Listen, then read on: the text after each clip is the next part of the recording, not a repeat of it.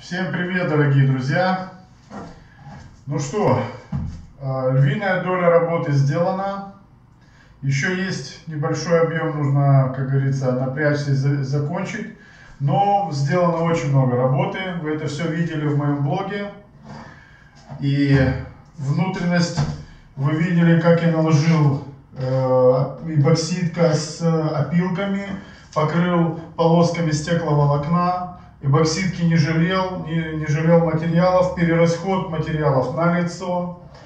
А, потом внутри два раза покрыл э, густой эбоксидкой, небольшие потеки, ничего страшного, качество на качество, я закрываю глаза, это вообще не имеет никакого значения.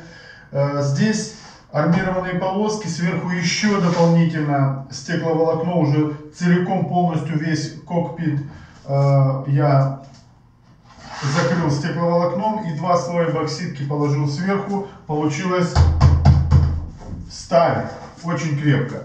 Ну, носы, понятно, это я уже давно говорил. Носы тоже замоноличены, все нормально, концы.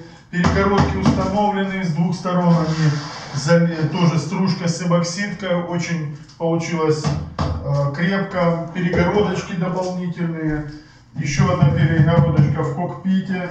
Ну, короче, закончил. То есть здесь все эвоксидкой покрыто. И, конечно, материалов я израсходовал больше, чем надо, я в этом не сомневаюсь. И на данном этапе я хотел бы взвесить каяк, просто мне любопытно, сколько он весит. А, сверху мне осталось, какие у меня работы впереди. А, Верх это цельные два куска, небольшой кусочек на носу, но это а, мелочь.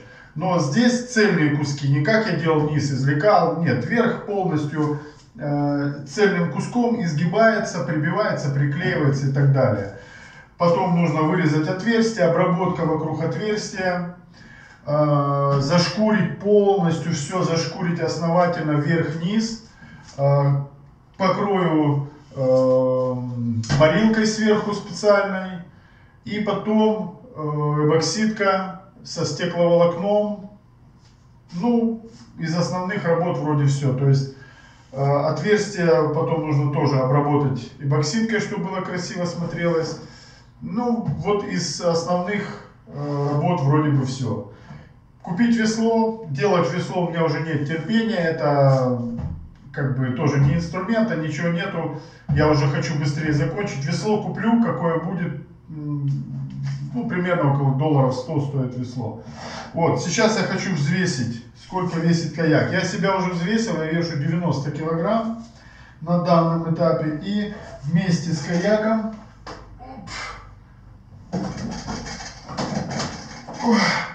еле поднять. Так, вместе с каяком я вешу 114 килограмм. 114 килограмм минус 90, 24 килограмма.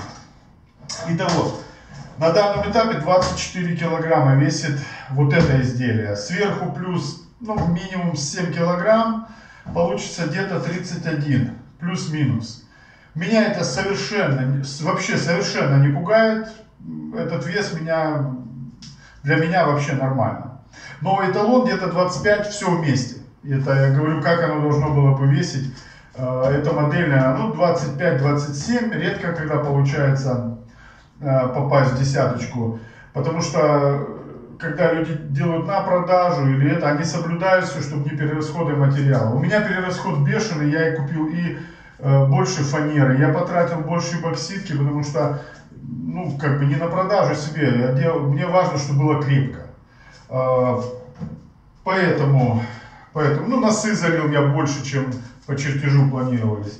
Поэтому около 30 килограмм. Ну, в принципе, нормально. Меня это все дело устраивает. Примерно мне осталось, ну, я думаю, дней 10, плюс там какие-то дни праздники намечаются, там выходные. Что, наверное, может где-то чуть больше дней я потрачу. Но это все вы увидите в следующих видео. Так что, друзья, не прощаемся. До скорой встречи.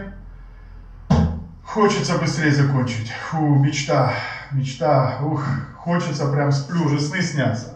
Ну и плюс моя супруга же очень скоро вернется. И мне уже как бы отпуск ее заканчивается, она дела все сделала, возвращается домой. И я не знаю, успею нет, на, э, как бы на, в теории да, на практике не знаю. Все время какие-то сюрпризы, какие-то непредвиденные ситуации. Ну, увидим. Все будет видно в следующих видео, друзья. Я прощаюсь с вами. До скорой встречи. Удачи вам, успехов и радости. Пока.